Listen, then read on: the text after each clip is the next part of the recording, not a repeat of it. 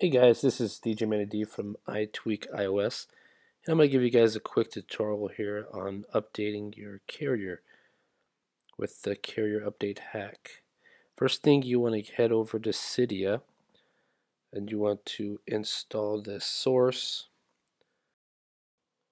Now once you get that source installed, you can go ahead and freeze the screen if you need to. You want to install CommCenter Patch.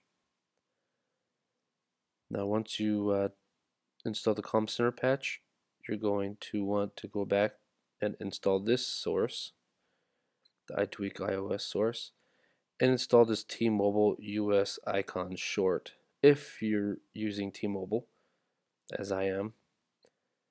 Once you do that, you will be prompted to respring.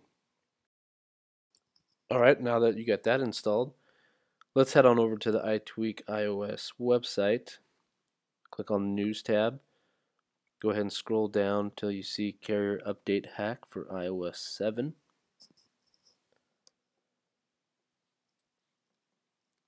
Now you go ahead and scroll down. If you guys want to go ahead and pause this, you can if you want to read this. I'm sure you, you've been to the post several times to read. But just go ahead and uh, make sure you've jailbroken, of course.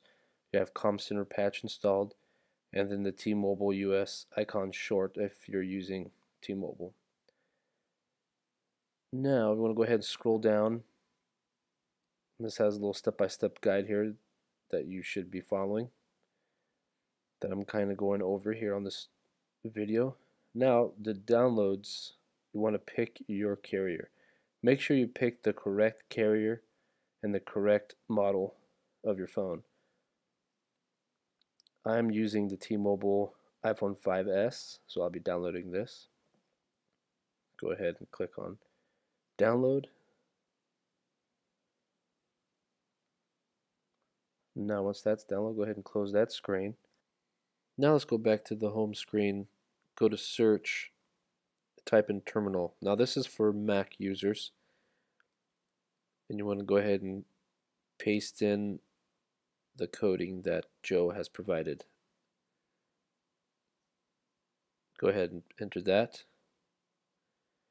And that should be all done. Go ahead and close that up. Now for Windows users, you want to open a command prompt and you want to enter the letters here only in the bold itunes.exe etc you got 32-bit and 64-bit. Make sure you copy and paste the correct one. Now let's go back to the home screen. Open up iTunes.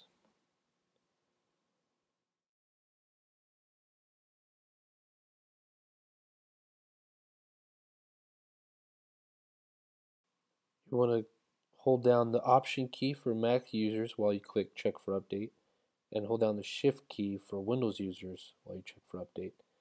Now you want to browse to where you downloaded that file, the carrier update. Go ahead and click on that. I downloaded the T-Mobile carrier update. Now you're just going to go ahead and click open. I've already done it, so I don't want to do it again. But just click open and it's done. Now you want to go ahead, go back to your phone, go into the settings, go to general, go to about, now you scroll down just a little bit and you should be at 16.1 or 16.2. Now at this time you're going to reboot the phone and you will be all set.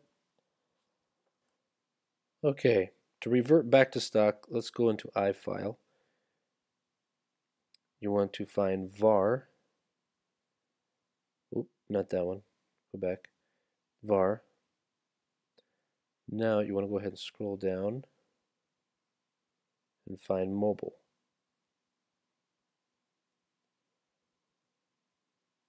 Alright, once you're in mobile, you want to click on library. And now once you're in there, you want to scroll down to carrier bundles. Now once you're in bundles, you want to click edit in the top right Select iPhone. Now click the trash can at the bottom. Move file to trash can. Now go oops, go back.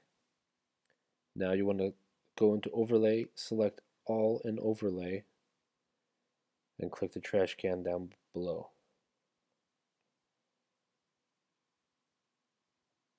Move files into trash. Now click trash can again, empty the trash can.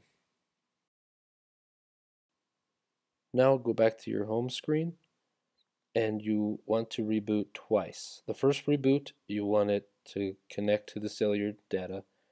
Then the second reboot, you should be all set.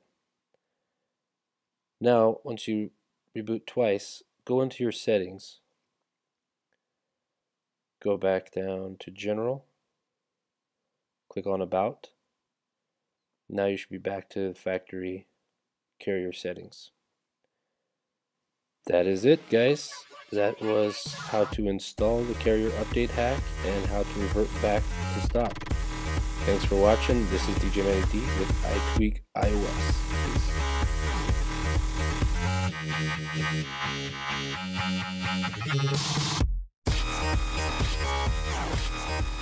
Peace.